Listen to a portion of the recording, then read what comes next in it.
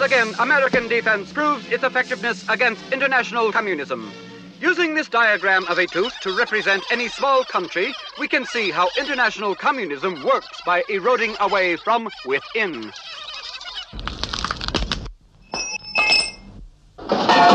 When one country or tooth falls victim to international communism, its neighbors soon follow. In dentistry, this is known as the domino theory.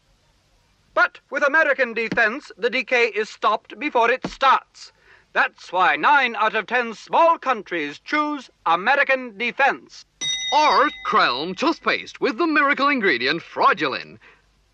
The white car represents Crelm toothpaste with the miracle ingredient fraudulin. The not white car represents another toothpaste.